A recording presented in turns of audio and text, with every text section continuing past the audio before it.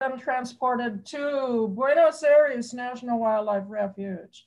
Um, most of you have visited the refuge, most of the viewers, but if you have not, I certainly invite you to go visit it. I am seeing a uh, little message on my screen. I hope that's not coming through for everyone else. Uh, you are good. It we see. Good. Yep, you're Excellent. good. Okay. Uh, Buenos Aires National Wildlife Refuge is a sweeping landscape of open grassland flanked by mountains.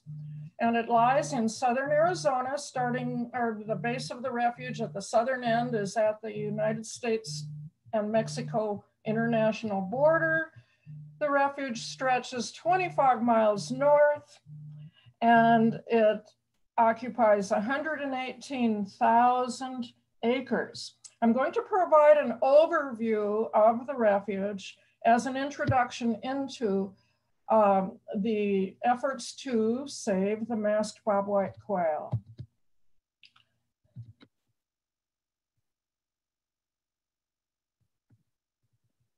Okay. The U.S. Fish and Wildlife Service is the federal land management agency that administers all of the national wildlife refuges across the United States. There is a network of 560, 570 or so national wildlife refuges that exist in all 50 states and US territories. And the mission of the federal agency, the US Fish and Wildlife Service, is to conserve and protect natural lands and the fish and wildlife and plants that occupy these lands. And this is not only for the benefit of wildlife, but for the American people or any other person who would like to visit these natural lands. Buenos Aires National Wildlife Refuge was established in 1985 with the primary purpose of protecting and reintroducing the endangered masked bobwhite quail.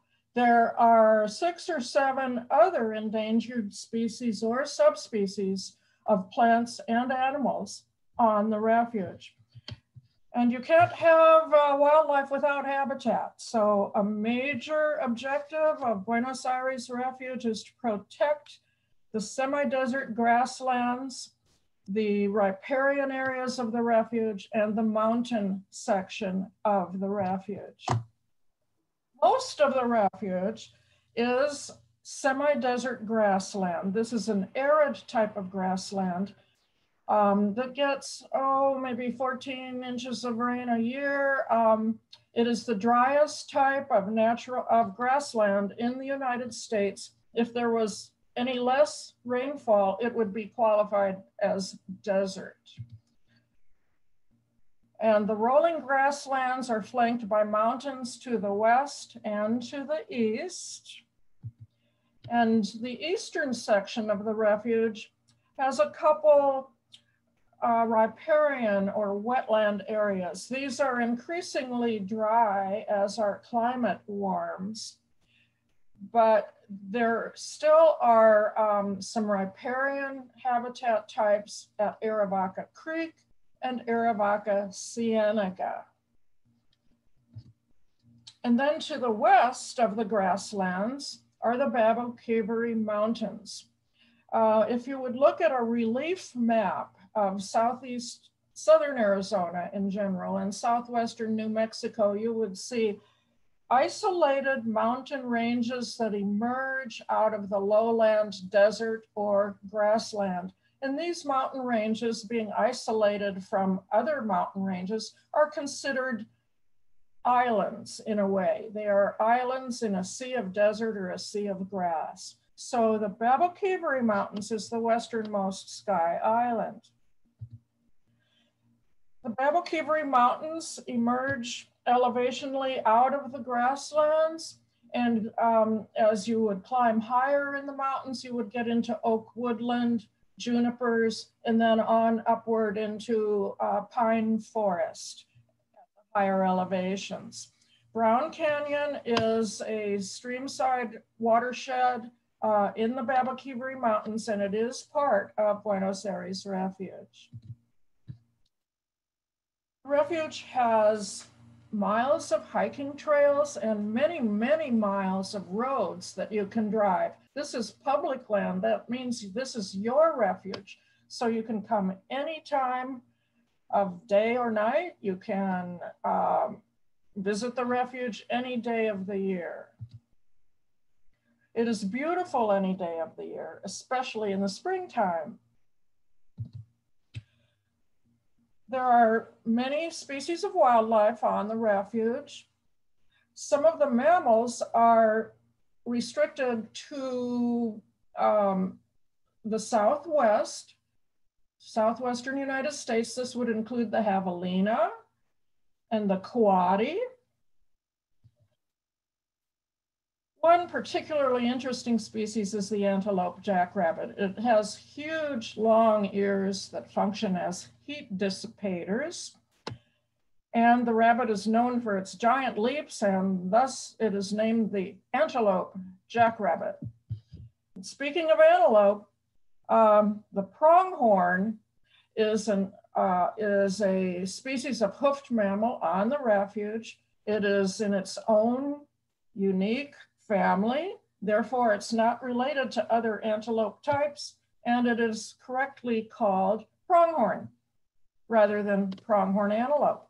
This is a species of special concern on the refuge. It, they have been reintroduced after being extirpated from Southeast Arizona by the 1920s or 30s. Buenos Aires Refuge is known for its birds. There are over 340 species that have been documented. This includes the beautiful vermilion flycatcher, and in the grasslands and other habitats, you can find the loggerhead shrike. One of the special features of the refuge is that there are species of birds and plants that are not found much farther north. These are subtropical specialties that are more typical of subtropical areas to the south. This includes the beautiful black-bellied whistling duck, the gray hawk, occasionally a green, green kingfisher, and three fly-catching types of birds, two kinds of kingbirds and the little, little bird that has a very long name, the northern beardless tyrannulet. But today we're going to talk about the masked bobwhite. This is a critically endangered bird. Buenos Aires Refuge is the only place in, in wild landscape where you can find the masked bobwhite, where you can find this quail. In fact, Buenos Aires is the only place in the country that has four species of quail. The others being the Gambel's, uh, Montezuma quail, and the scaled quail. This is a, a, subspecies. The masked bobwhite is a subspecies of the northern bobwhite, those of you who live in the East or the Midwest would be more familiar with the northern bobwhite. Here's the male on the right, female on the left. The masked bobwhite female looks just like the female northern bobwhite, but the male has a black face or black cheeks, thus giving it the name masked bobwhite quail. In fact, in Mexico, it is called La Mascarita, which means the little masked one. So today we will look at efforts to bring the quail back and to increase their numbers in their range. So I'm going to turn this, this uh, program over now to Lacrecia Johnson. Lacrecia is a uh, biologist with the US Fish and Wildlife Service. Okay, Lacrecia.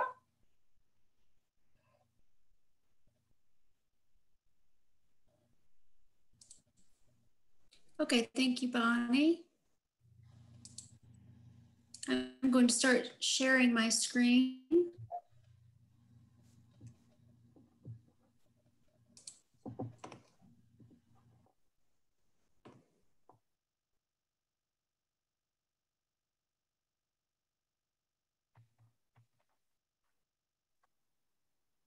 I'll let you know when we see it, Lacrecia.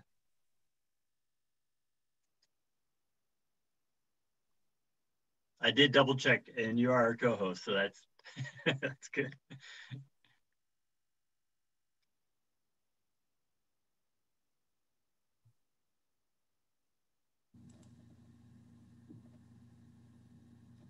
Do you need any help?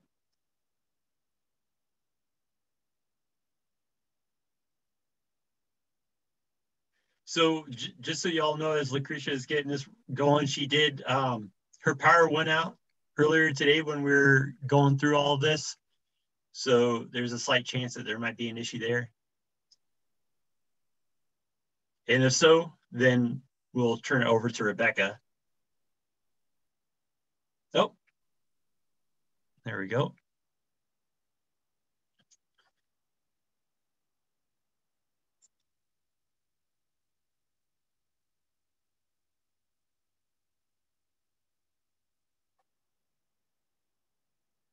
Lacrecia, it looks like we can see you working on getting the PowerPoint set up.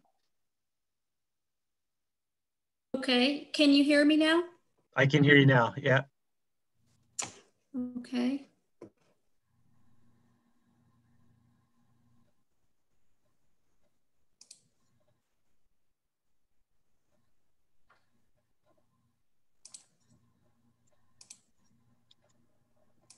Okay, Luke, it's not giving me the share the share screen option. Um, well, you're you're sharing your screen actually right now.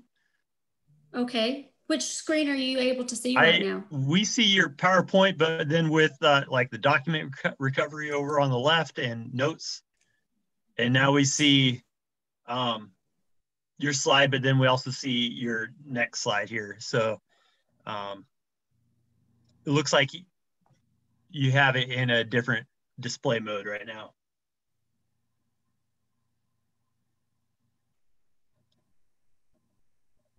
So what I would do is probably, um, yeah, there we go. You got it. Okay, perfect. So thanks for that great introduction to the Refuge Bonnie. And, and I just wanted to take a minute and thank all of you that have taken time out of your day to learn about our efforts to establish a population of mass bobwhite quail on the Buenos Aires. Um, we have been working on this uh, for about four years. Um, if you have knowledge of the program, you know that the program actually has been going on much longer than that. But um, the efforts in which that uh, in which the speakers today have been involved with um, started about four years ago. So I'm going to start out with some similar information to what Bonnie was speaking to. Um, I'm going to provide you some basic information on the mass bobwhite.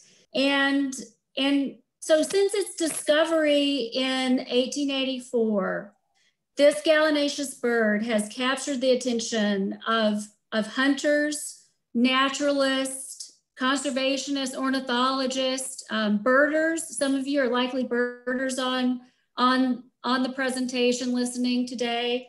And I, I believe that part of its allure is in its colorful plumage. Uh, the male, as Bonnie was speaking to, has that beautiful black head and black throat and, and red breast. And I, I think that is part of its appeal. Um, the female coloration of this endangered subspecies of northern bobwhite, as Bonnie mentioned, um, is something you're probably a lot more familiar with um, because it looks identical to the females across the distribution of northern bobwhites.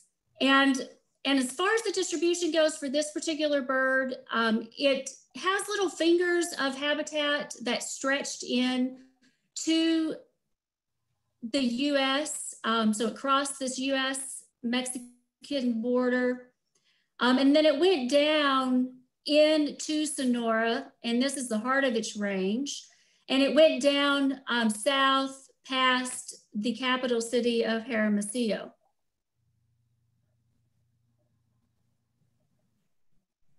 And, and this bird occupies subtropical and semi-desert Sonoran grasslands. So the bird was extirpated from the United States by 1900 and experienced a dramatic decline in Mexico beginning in the 1930s.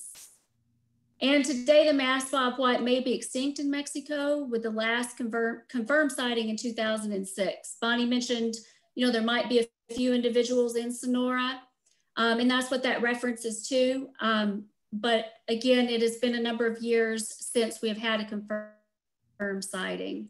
And what led to this dramatic decline was incompatible livestock grazing practices as seen in this upper photo drought, invasive plant species such as the monoculture buffelgrass seen here in the lower photo, and subsistence take may have contributed.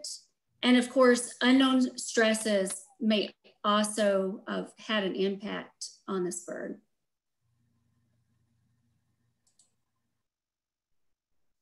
So the mass bobwhite, as I mentioned, it's drawn significant attention, uh, not only because of its beautiful coloration, but also because of its colorful history. And one significant piece of that history is that in 1964, after 14 years without being seen by ornithologists, a, a wild population was rediscovered in Mexico. And this seminal event kicked off a suite of actions that without those actions, our work today would not be possible including a series of researchers being hired and their associated projects, and establishment of a captive flock, and the establishment of the Buenos Aires National Wildlife Refuge. So the early years of the program were science-based and, and led to the establishment of a wild population from captive stock within what is now the refuge boundary. But over time, biologists observed that there was a reduction in survival, and, and they quickly adjusted for that. And they adjusted by making changes to the conditioning and release technique. However, today, when we review the literature, um, what we find is that the information supports that what was causing that reduction in survival was the continued cattle grazing at those sites. As we know these birds they they cannot tolerate even light grazing in drought years and at best moderate grazing in in years with significant rainfall in addition following the establishment of buenos aires an aggressive fire program aimed at habitat restoration so it was intended to be a positive thing was initiated and and and it set back the successional stage of large swaths across the refuge. However, these birds are a late successional species, and thus the population winked out, and releases were then suspended in 2005 due to a lack of success. So in 2007, I was tasked with assessing the validity of the program and development of a new framework. So I, began this process with a review of the available data and literature, both gray and peer reviewed, uh, and, and then built upon that foundation by consulting with the Mass Bobwhite Recovery Team, along with my U.S. Fish and Wildlife Service colleagues and wildlife professionals and naturalists that had a long history with this, with this bird or with similar species. And our conclusion was that the U.S. Fish and Wildlife Service should increase science and partnerships within the program. Luke spoke to the importance of partnerships when he was introducing the talk today. Um, I agree with him 100%. We could never do this work without our partners. And uh, Tucson Audubon is a significant partner in this work. And so um, within, within um, the program, one thing that really needed to happen was we needed to uh, assess the genetic fitness of the captive population. And the conditioning and release technique developed back in the 70s should be reinstated. That was another determination. And it should be reinstated in almost its pure form. And then the conditioning and release, um, uh, you know, should should be post and pre along with habitat uh, restoration. And that restoration should follow a new prescription, one where fire is not the primary tool. And monitoring should increase, and food plots and supplemental feeding should be part of the program. So, with that framework, captive release is resumed in 2018. And that's why at the beginning of this, I spoke to the fact that we've been we've been working underneath this new framework for about four years. Um, we're, we're into our fifth fifth year in some components of it. And today, today the program is grounded in an ev evidence-based adaptive management um, that's informed by science. And Rebecca Chester has been involved with the on the ground implementation of this work since the beginning. And she is going to take our story today from this point.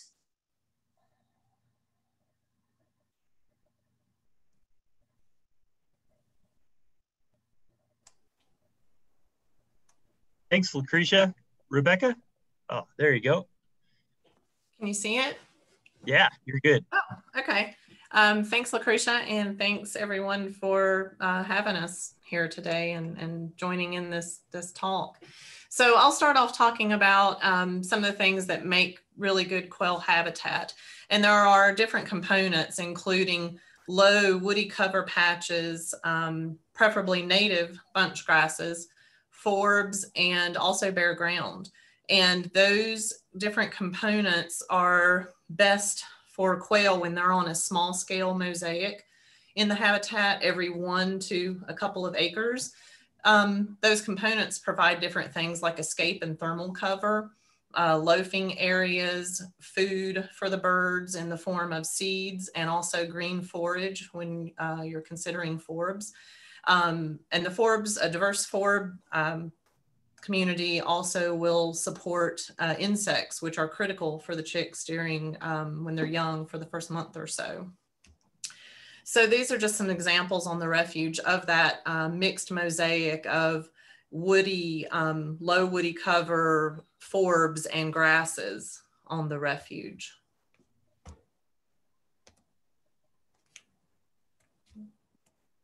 Okay, there we go. So one of the products that has come out of the uh, last few years of work has been a habitat suitability index that was um, produced by Joint Fire Science within Fish and Wildlife Service. And it used remote sensing data as well as on the ground vegetation plots and ground truthed areas to predict where the better quail habitat is that includes a mix of the good woody, a diverse uh, uh, native grasses and forbs. And as you can imagine, and this is uh, part of the refuge, as you can imagine, a lot of that better habitat is along the washes, uh, shown here in orange. And then the blue represents areas, um, sometimes those are area monoculture areas of like Lehmann's love grass, one of the invasive grasses at the refuge. So this has been really helpful to help us understand refuge wide where our better areas are and uh, how to plan out uh, releases and, and habitat work. And speaking of that habitat work, one of the main things we do, because we have an abundance of mesquite at the refuge, um, different than it was 200 years ago, is, is half cutting of the mesquite. And that's where we cut about halfway through the branch on mesquites that are maybe up to 10 or 12, maybe 15 feet tall, bend those branches down to the ground so that that cover is now low to the ground, which is much better for the quail when they're trying to escape predators. Um, so we've done quite a bit of that just to modify the shape of the existing mesquite, which is what we have to work with, that will then begin to mimic more of this low woody cover um, in the mosaic throughout the refuge in the areas that we've worked on. Another uh, technique that we've used to improve the habitat is uh, wash erosion control. And that's usually done by using uh, mesquite limbs or one rock dams to place um, kind of across a wash area and that will slow the water flow, which will allow infiltration to be better, um, increasing soil moisture, and then that will in turn um, support better vegetation in those areas by having more, uh, more moisture in the soil. And we've been really lucky to have a lot of groups come out, um, Southern Quail Forever, uh, some youth groups, through AmeriCorps and other Sierra Club. I think Tucson Audubon has also had a work day. But we've just had a lot of great, willing, wonderful volunteers to come out and help us with that habitat work. So those we really appreciate all everyone that comes out to help do that work.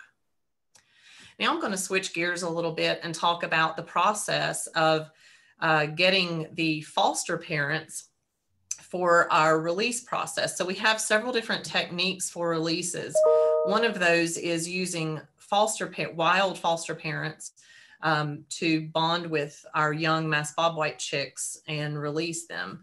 So that process starts actually in uh, Texas and Oklahoma from January through the late winter. They we have some wonderful uh, fish and wildlife co-workers um, in those states that trap northern bobwhite males for us and for a couple of months. Eventually those they make their way to the refuge in southern Arizona where they are vasectomized. And that is important to make sure that the um, closely related northern bobwhite do not hybridize with female mass bobwhite. So after the vasectomies, the male, the male northern bobwhites are taken back to their holding pens. And a couple months later, the mass bobwhite chicks, which are produced by in one of the uh, one of our partner breeding facilities at Sutton Avian Research Center in Oklahoma, they start to arrive in batches starting in July. Um, we've been partnering this last year with Lighthawk, which is a fantastic conservation organization. They pair private pilots with conservation projects around the world. And we've been lucky enough that they have flown out um, all of our chicks this last year, and we're looking forward to continuing a partnership with them. So the chicks arrive and they are paired with a dad. Here we have a northern bobwhite and he is radioed so that once they're released, we can keep track of the brood and learn about their habitat usage and their survival um, and just you know increase knowledge in the program. So when we put them together, we're hoping for a successful bond. And a successful bond is when the dad accepts the chicks, he lets them get under him, and he just kind of follows them around, keeps them rounded up, and provides uh, thermal uh, warmth to them because they don't, they're not thermally independent until they're about a month old. Um, and just kind of keep takes charge of the chicks. And that's when you have a successful bonding. Once we have a successful bonding, we move the brood out to the outdoors for the first time in the chick's life. They are getting exposed to dirt rain, insects, plants, sky, wind, all, you know, all the outdoor stuff. Even our, we call this a following pin that they go into, um, pictured here. They even get the sense of shadows of uh, predators flying above the flight pins at this point. Here we have one of our wonderful uh, Tucson Audubon contracted employees doing some work with this brood, checking the radio, it looks like, to make sure it works before we release. Sometimes the chicks don't always want to go in the box, uh, the release box right away. So here we have another Tucson uh, Audubon employee um, reaching in to get the last few chicks that didn't go in the box.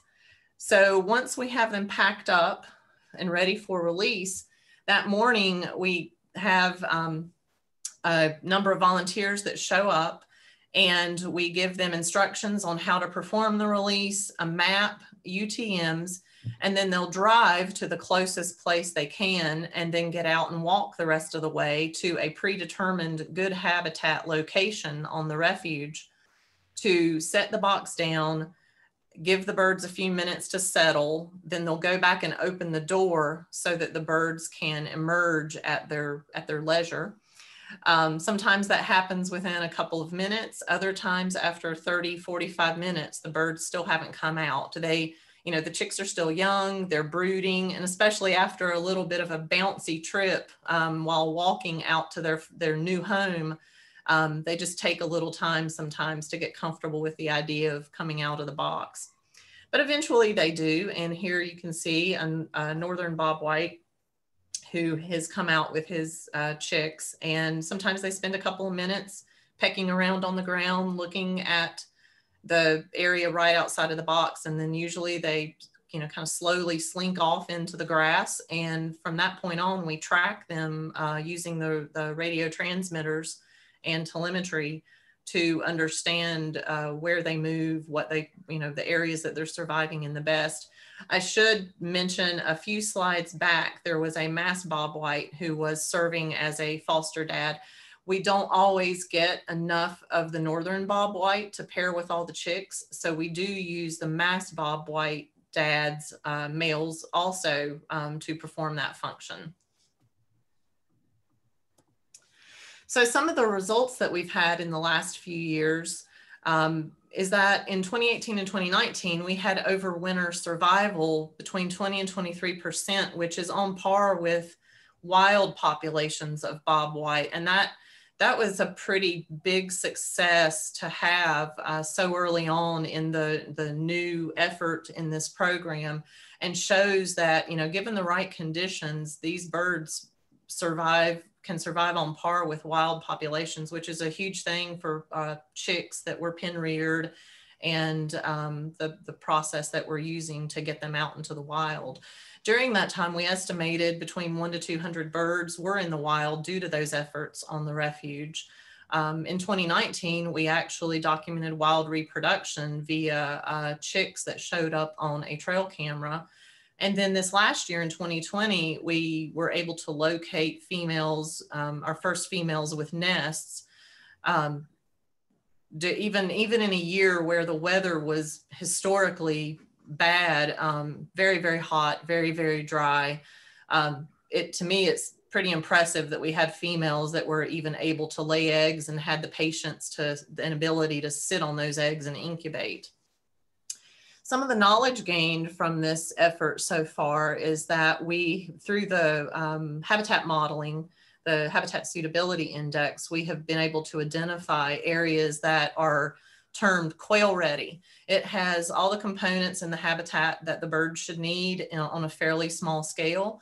Um, there's not a lot of acreage on the refuge in that condition right now. So we have also identified the deficiencies, but also the potentials for restoration um, on the refuge and plan to continue much more of that work into the future.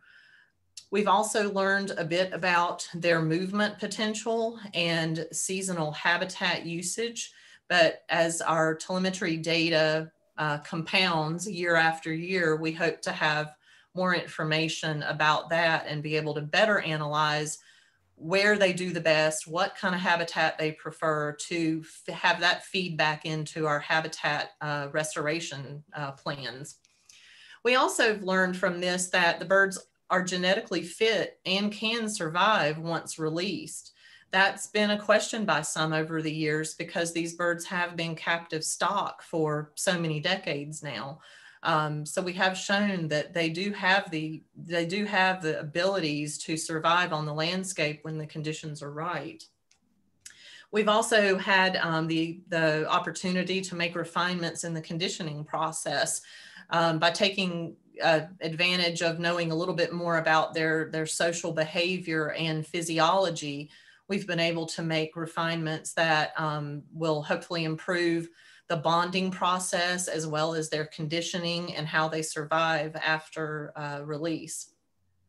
And then another thing that we've um, had indications of after the successes of 2018 and 2019 and followed by uh, poor condition, poor weather conditions or environmental conditions of 2020, it's uh, indicated the importance of supplemental feed for these birds, especially as we begin to establish, to establish in a population uh, starting with pretty low numbers, um, then that just kind of helps smooth out the lows that are natural um, in, a, in a desert area where the weather can fluctuate um, between good years and, and really not good years. So up next is Don Wolfe with the Sutton Avian Research Center, and he's going to tell you a bit more about um, how all these adorable chicks end up in Arizona and become part of our little wild masked bobwhite population. So Don, take it from here.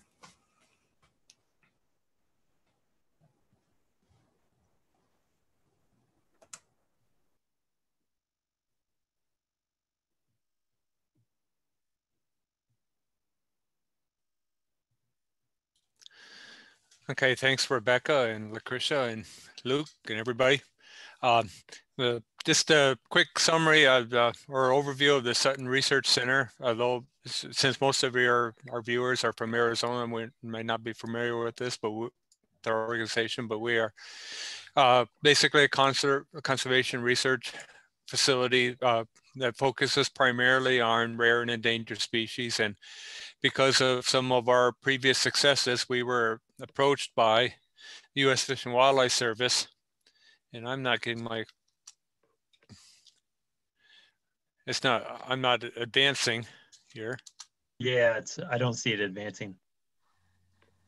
It did when we were doing it earlier. It did. Don, I had to click on my screen where my slide is, and after I did that, then it attached my my arrows would react. Oh, gotcha. Thank you. Um, so, uh, but we were originally approached by the U.S. Fish and Wildlife Service around 2008 to uh, ask if we would be inter uh, interested in be, uh, getting involved in this uh, in this particular program. Uh, however, at that time, you know, there, there were the plans were that it'd be 10 to 15 years out before releases were they were ready to begin releases again. Uh, so really, we became pretty actively involved around 2014, 15. Uh, and then thanks to a grant from the U.S. Fish and Wildlife Service in 2017, we were able to uh, uh renovate one, an existing building here uh, that and convert it over into the bobwhite breeding facility.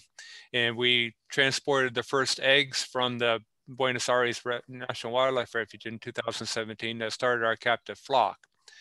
Uh, and you know, 2017 also there were a few birds released that were produced at the Buenos Aires Refuge, and then 2018 was really the first year of larger scale releases, and that was the, the year that we were able to really start contributing uh, large num numbers of birds. As already mentioned by uh, Rebecca, you know these are quail. They're low on the now they're they're, they're a highly favored diet for many a number a large number of predators and you know uh, typically with wild quail populations only 10 to 20 percent of the chicks that are produced in a given year make it into uh, into their first breeding season. And i just want to everybody keep that in mind because when you hear some of these numbers you think well that's overwhelming but the reality is that uh, you know we put a lot of birds out there a lot of chicks out there for the few that do make it.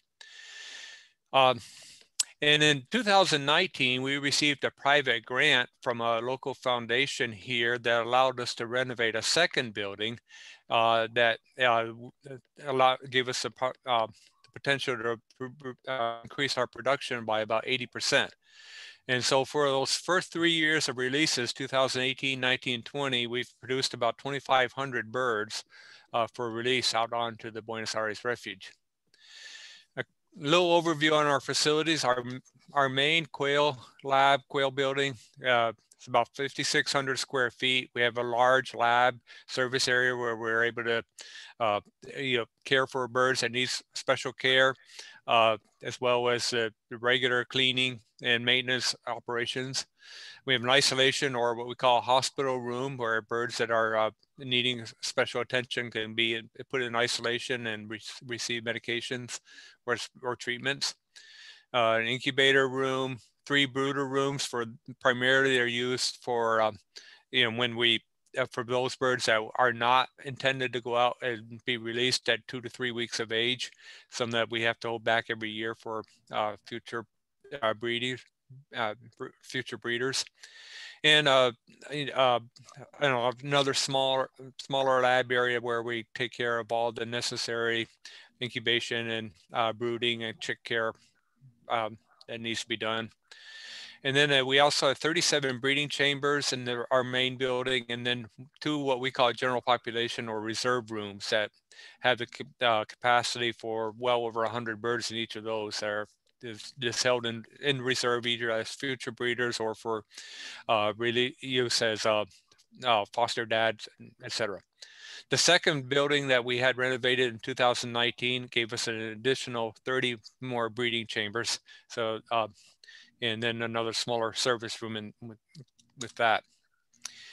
So some of the general procedures here, uh, we monitor air quality daily because that's important. We have, we're especially uh, we're in, of course in a more humid environment than you used to in Tucson. So we have to be always be on alert for uh, aspergillosis, which are basically it's a fungal disease that's caused by mold spores, which you would have in Arizona too, but maybe not at this high as high a density. But we monitor air quality on a regular basis every day to make sure that we are uh, keeping given the best air possible. We do weekly surveillance for diseases, uh, which essentially is collecting fecals uh, from the rooms, floating them in a, a, a special solution, and then uh, uh, examining that under a micro, microscope to look for uh, coccidiosis or uh, the Eimeria oosis or um, eggs, eggs for roundworms. Any sick or injured birds that we have are immediately moved to isolation and treated until they're recovered and then put back into their either their breeding pens or their general population rooms. And we do a combination of what we call genetic pairs, which are birds that are based on the best genetics that we can have. You know, the, this this male is mated best mated with this female to give us the most diversity. But in order to just to improve overall numbers of birds, we also do some clusters of three females to two males. And the, basically the criteria there is just that, though, that those three females are going to be totally unrelated to those two males. And that just is another way that we can kind of boost the overall numbers of releasable birds. And so, for example, in 2020, we had 54 genetic pairs and 13 breeding clusters, so essentially 93 breeding hens. Um, we pair birds up in April, and they are uh, right away put onto a 14-hour photo period. We actually step that up. It's not a, a sun to 14, no, from 8 to 14 hours, but uh, we step it up to 14 hours. And then uh, we constantly are monitoring all the birds. And as these are arranged marriages, sometimes they don't work out. And it, typically the female is the, the aggressor and she will sometimes just, you know, put, uh, put some validity to the old phrase henpecked. Um, and she will a lot of times become aggressive to the males, in which case he he will usually start to cower in a corner and we start you know you know start losing weight because he's not eating and will not mate with her. And when we we see that happening, we immediately try to reassign a new pair so we're not losing out on that uh, production from that pen that year. Um, we collect the eggs twice a day and they're kept in cool storage for up to three weeks. And then every third week we incubate eggs. So, you know, when we, when we put eggs in an incubator, some of those eggs are only, are only hours old since laying. Some of them uh, would be up to three weeks of age.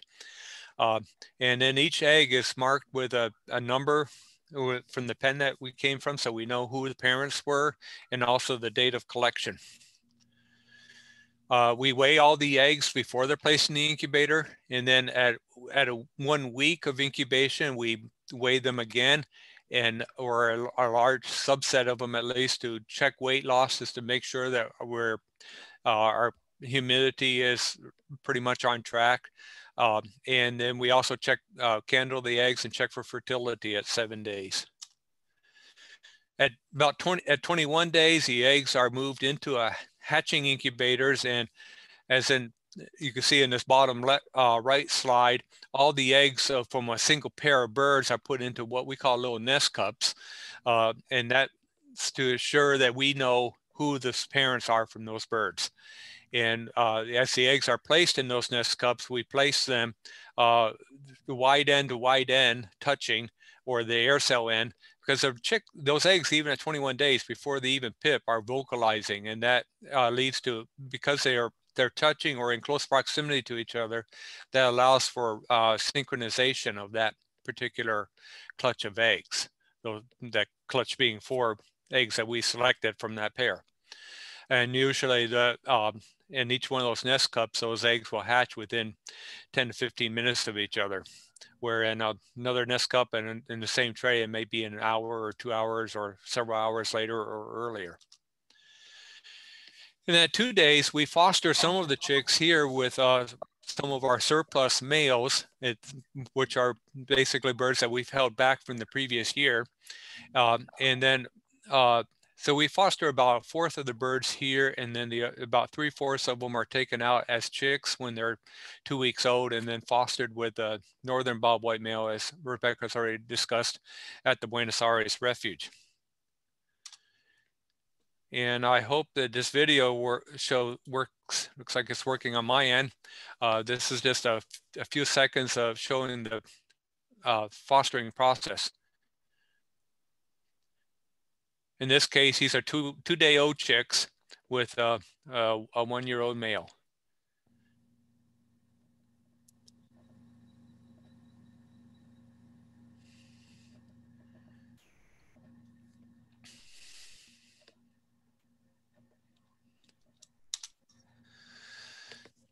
Um, and as I've already mentioned, since 2018, we've uh, we've produced over 2,500 chicks to for release at, on the Buenos Aires refuge. That doesn't mean that 2,500 were released because there are uh, always is some mortality or some weaker chicks that are decided not to be released after they arrive.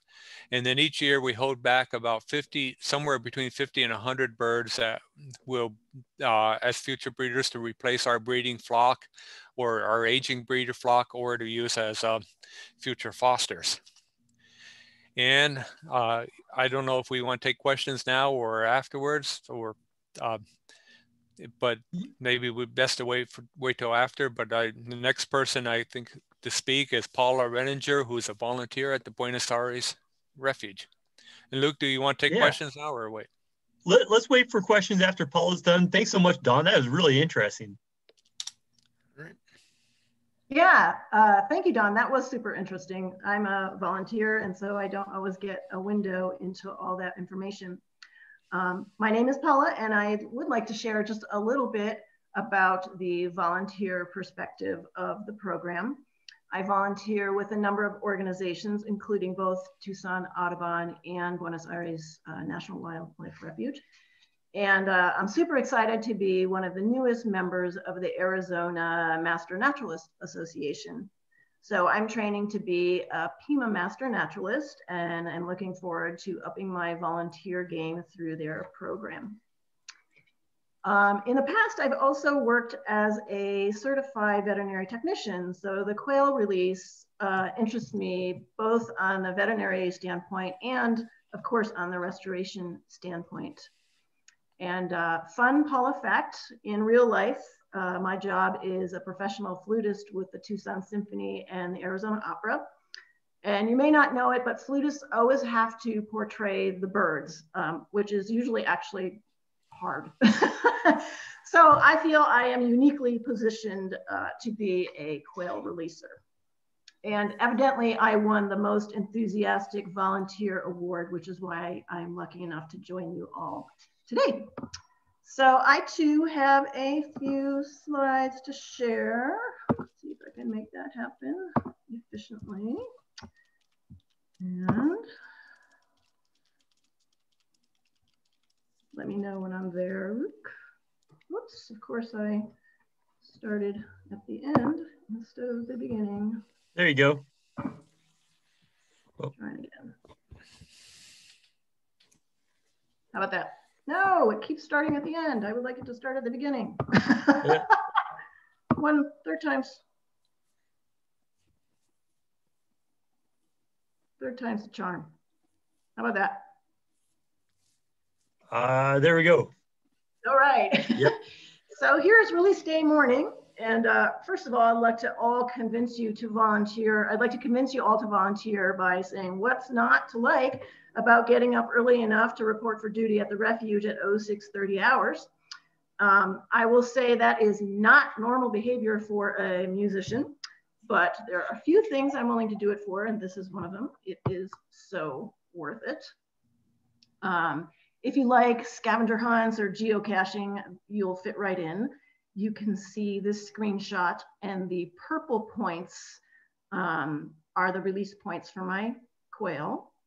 And uh, one of the points is the designated release point, and you can see a little point behind there hiding, and that was the actual release point. And what we did is we navigated, we kind of scrambled through the brush to the designated release point and looked for an, an area nearby that had some cover and some shade for them to jump into out of their box. And you'll see a few red points there too. While I was on the refuge, I decided to do a volunteering for Sky Island Alliance as well. So uh, we won't talk about killing two birds with one stone. There's my Bo. Uh, he in his kitted out Jeep and he's safari man there and he loves his toys and what a great excuse to deploy your toys.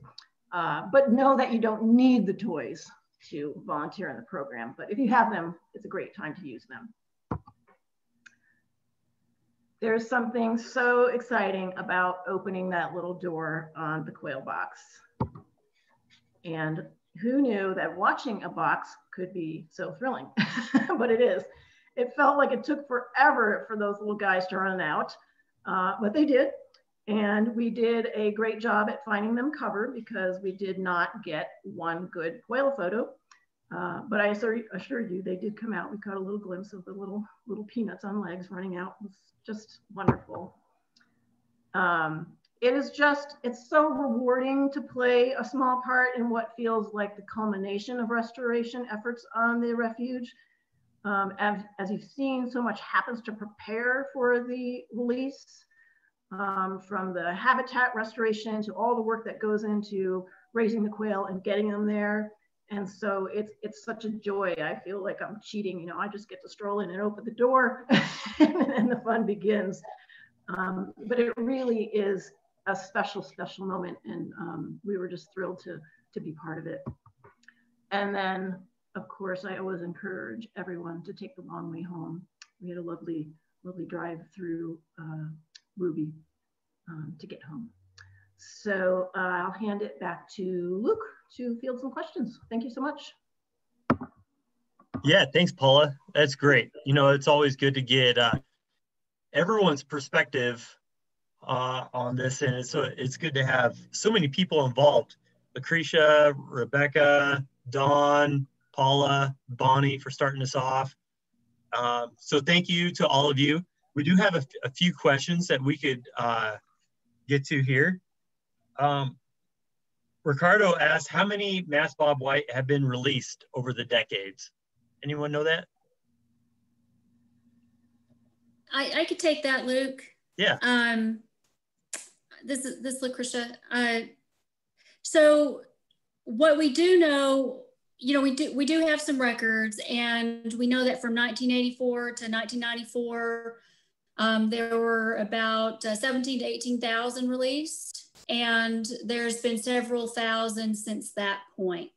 So we're up into the the 20,000, 30,000 ish uh, numbers but I don't want that to um, discourage people or give them a negative feeling about um, the program. That's a lot of birds to release. But remember what I said in the presentation when I spoke to the fact that we've learned as we've progressed.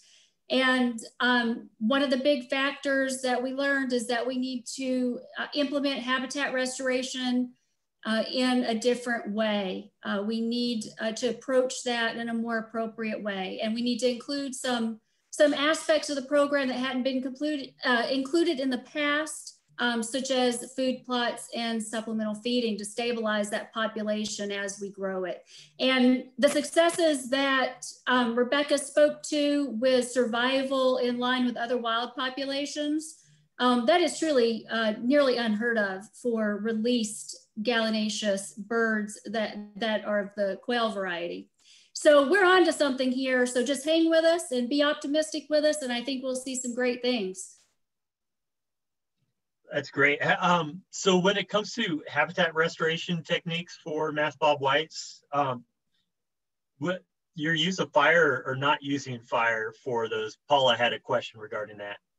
Yeah. Um, so my understanding is that the for the semi-arid grasslands fire is kind of the, the normal um, process. So I was really curious to hear more about why um, that didn't work out. My understanding is that the fire keeps it from turning into a brushland. Um, so I'm, I'm, I'm curious to hear more about that. Yeah, so the fire question is very, that's a very complex issue. And um, you're correct. We, we don't want the landscape completely covered with mesquite, but it is in the way that the fire was applied originally uh, when the program started in 85.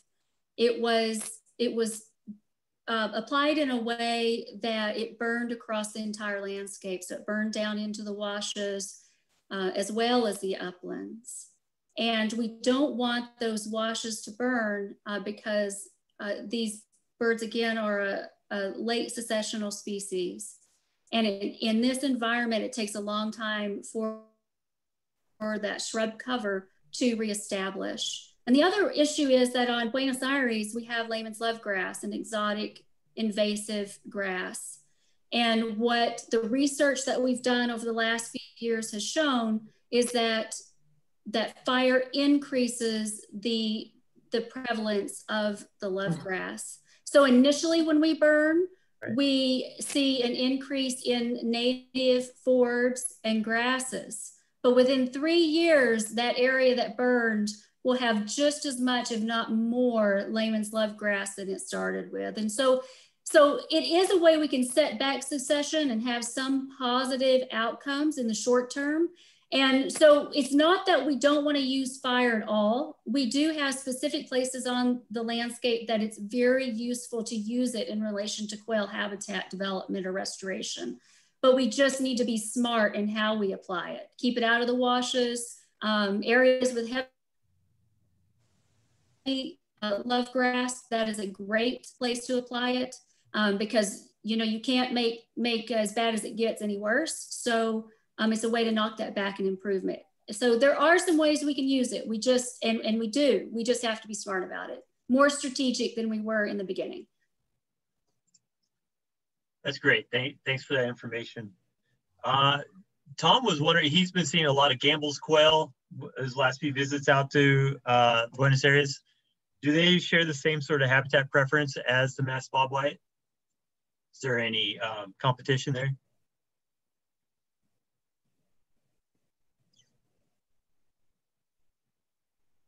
Do you guys want me to take that one or does somebody else want to take it?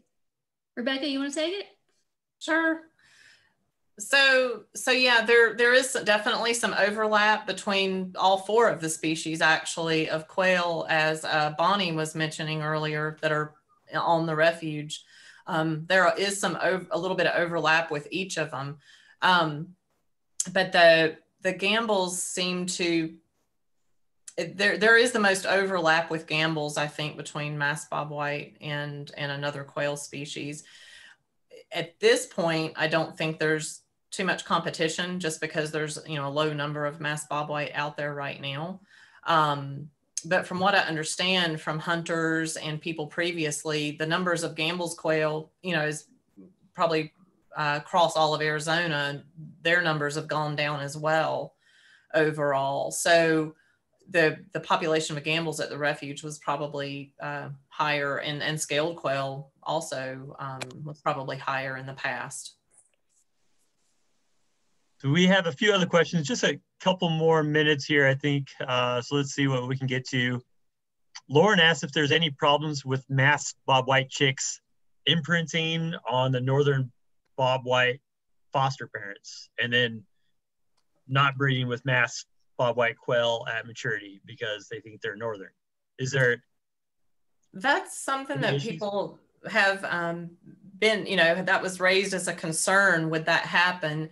And we've we've got we've got evidence that you know sometimes they do. If a northern bobwhite dad is alive long enough, as we start to see the the chicks mature, sometimes they have a female masked bobwhite has been spotted with a northern bobwhite a couple of times the next season but they've also been seen with masked bobwhite so i don't i don't know if it's a matter of imprinting but when the population when the numbers are pretty low it might just be a matter of that happened to be one of the other quail in the area and they were just hanging out together so if you if you think about a bird, they, they see the parent and it might be a northern bobwhite, but they're also seeing all of their brood mates and those are all masked bobwhite. So, so even at a young age, it's, it's, it's not just seeing the parent, it's seeing its brood mates as well. So that, that's something that we should probably look into a little bit more as time goes on and see if we can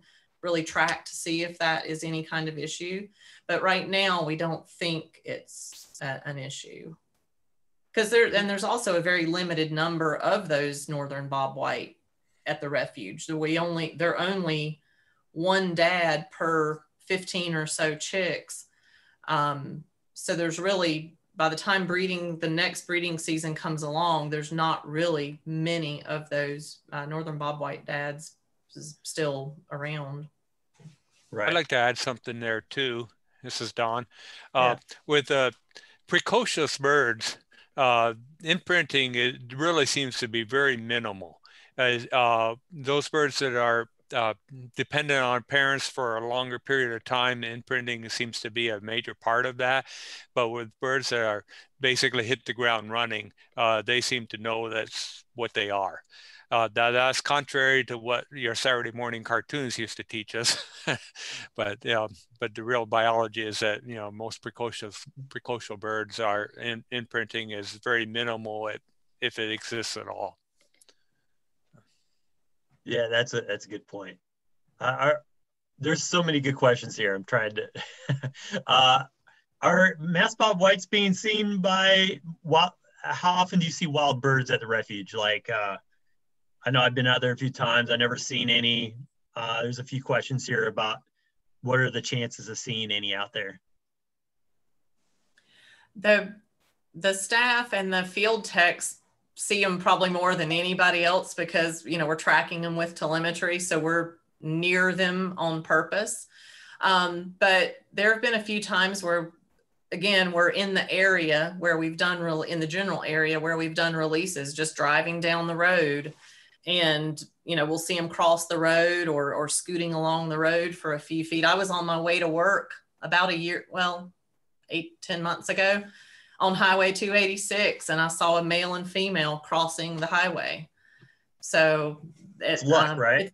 yeah, yeah, it ha- right. It happens. Um, yeah. There are some. There's a, a little uh, group of birds right around the headquarters lately.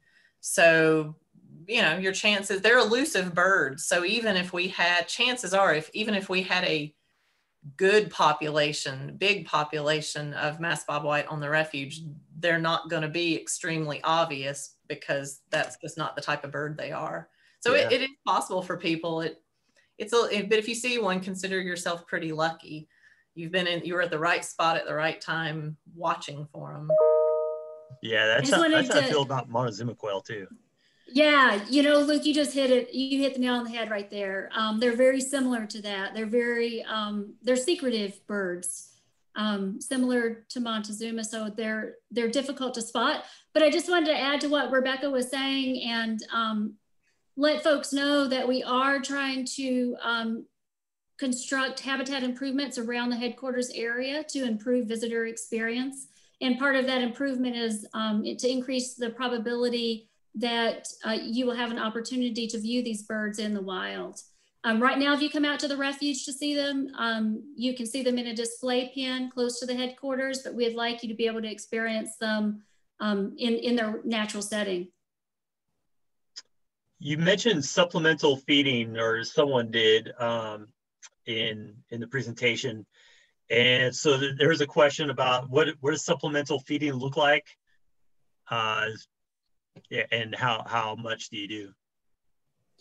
So you can do. Uh, there's two different uh, types that are common. One is um, uh, supplemental feeding through dispersing the food. It's called broadcast feeding. You can use um, different types of equipment to, to disperse it, kind of like uh, uh, seeders that you might use to seed a lawn, um, but on a larger scale. Um, and then there's also stationary feeders. And um, the type that we use um, are, are called barrel feeders. And um, uh, actually, we have we have one of the people that um, leads that work. Um, I see I see him, and I just wanted to take a minute and say hi to him. It's Jim Levy, and the reason I want to say hi to him is you guys might have noticed his name um, when I went through my presentation. He is the gentleman. He is one of the three gentlemen responsible for the rediscovery of this bird in Mexico in '64. And I, Jim, will you just wave to everybody, let them know who you are? Are you comfortable with that?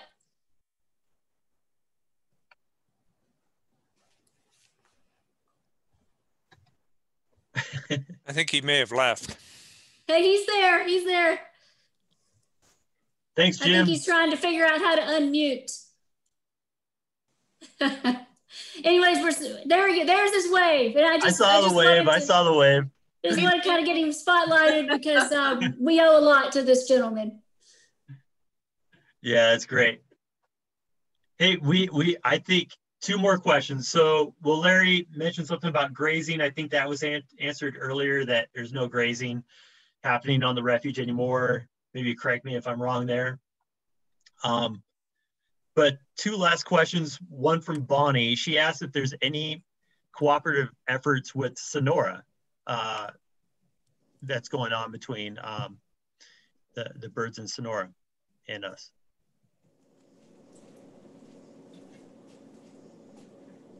Silence means maybe no.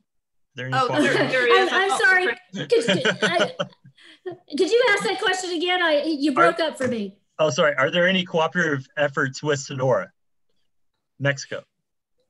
Yes, um, there there are some. Um, it back in in 2016. Well, it, it goes back further than that. So there's a few different efforts going on. One is um, in the last decade we've established a captive facility in Mexico um, at Africam Safari. It's near Mexico City.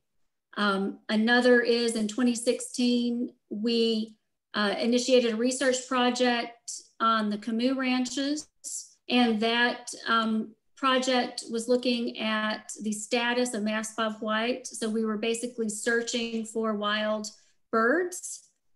Um, and in, that ranch that I'm speaking of, it, it is where Jim located those birds in 64, and it is the last known location for masked bobwhite in Mexico. And um, we are currently working with folks in Sonora to establish a captive facility there so that they can lead their own effort at reintroducing the masked bobwhite into Mexico. That's awesome. Last question. I know we have quite a few people who are who have volunteered uh, out there at the refuge, and some folks who have, like Paula, been able to release some of the masked bobwhites. And uh, if if you're one of those people, maybe just put something in the chat. Just say, "I volunteered." It'd be great to see how many different volunteers we've had out there. Uh, but someone asked, "Who would I speak to about volunteering at the refuge?" That's a great question to end with. Who would they speak to about that? So um, if you want to volunteer with the program uh, specifically, um, uh, I would I would say um, that that Rebecca would be a good contact for that. Um, so if you're looking to volunteer for Quail, I, I would reach out to Rebecca and and um, she can certainly get those wheels in, in motion. If your goal is to volunteer on project projects in general, um, Bonnie, would they reach out to you or is there a, a better contact right now? our volunteer coordinator is not um, in, uh, we are, that position is vacant currently. So I wanted to reach out to Bonnie and see if they have a process for that. Um, that would be fine to contact me. I used to be the volunteer coordinator, but right now the position is is vacant. Um, we also, uh, yes, if you can put my contact information up or if it can come later with the link that um, Luke will send out, I can refer you to whoever can get you going with volunteering. Uh, the Friends group, the Friends of Buenos Aires, uh, has work projects on the refuge throughout the year. So that would be another organization to contact. Great, thanks. Uh, yeah, so if it's all right, I'll put Rebecca and Bonnie's uh, their contact information there if you want to vol volunteer. Luke, you could add my name also. I've been connecting a lot of recent volunteers with Visitor Center and Water on the Landscape and some want to do fence removal. Um, so Bonnie and I can kind of divvy that up once we get intake. Okay, and I didn't catch who was talking there. That was Rita. That's Rita. Oh, okay. All right, That's we'll do. Thanks, Rita. that. All right. Well, hey, thanks to all of you who uh, who joined us, and special thanks to Lacrecia and to Don and Rebecca and Paula and Bonnie and Janine Higgins who helped set up so much of this. Um, I don't think I left anyone out. There's just so many people who are involved with it, and uh, and that's what makes it pretty special. So, um, how about uh, any last from our any last thoughts from our presenters before we head out? I, I think it's just great that everybody joined. I really appreciate everybody taking time on a, a snowy, well, not so much snow anymore, Southern Arizona day to to listen to the project. And thanks for your interest.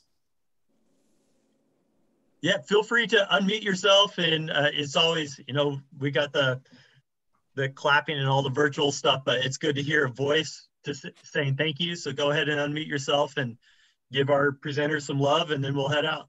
Thank you, John. Awesome Thank job. you. Thank you. Thank you very much. Thank you. That was great. Thank you. Thanks for sharing the information. Super. Thank you. Thanks so much. Welcome. Fascinating information. Take care.